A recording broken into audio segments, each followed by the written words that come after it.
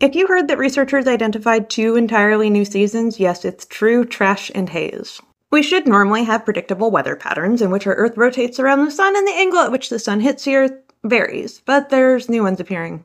You may have noticed, for example, that you get smog periodically. Just going to be various particulates that we put out into the air. A lot of it in the US in particular has to do with burning forests, which are more intense now and that can pose health risks. This isn't just forest fires. It also has to do with the amount of production that we have. If we have varying energy consumption based on the year, we will have more smog when we're using more energy. The other is trash. Guess what? It also doesn't stay where you put it. You ever heard of the Great Pacific Garbage Patch? Yeah, that trash follows with the ocean and ends up washing ashore. So people are essentially going to have to clean it up periodically, and then it's probably just going back in the ocean to come back next year. But it is predictable. Also, not great. And I told you guys we've already lost 80% of all fish biomass in the ocean over the last hundred years. 80%, and that probably doesn't help, but hey, it might make new communities for evolving organisms, probably, maybe, I hope. We at least know there's bacteria out there that's learned to eat plastic. So that's a community. If you live on the east coast of the United States, you're probably familiar with the seaweed that comes in periodically. It can smell horrible. These massive bunches of seaweed just wash ashore and that's going to be affected by how hot the water is and how much nitrogen that we pour into it, which is, you know, my field. I work with alternative fertilizers. We dump massive amounts of fertilizers into the ocean, and it ends up fueling stuff like algae blooms, and we'll also get seaweed.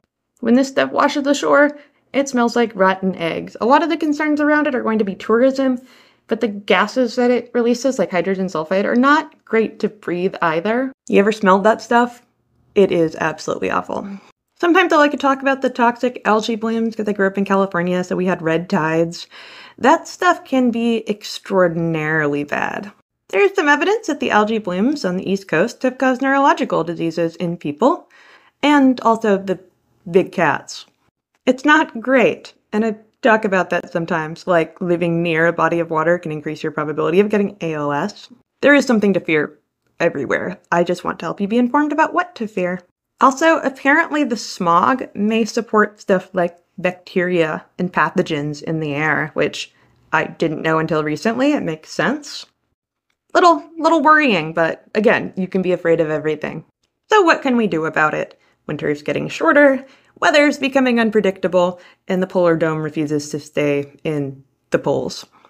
And you know, the trash and haze season. There's honestly very little that any individual could do. If all of humanity got together and tried to solve some of these massive environmental problems, we might have a shot, but that ball is already rolling. So we just do the best we can. If you own property, you can have a natural garden in your yard, you can use less disposable plastic products. You can have a windmill, or solar panels is a lot more feasible for a lot of people. Or you can just admire the doom as it comes, which I guess is my plan, and I'll keep you informed on it. Come back for more.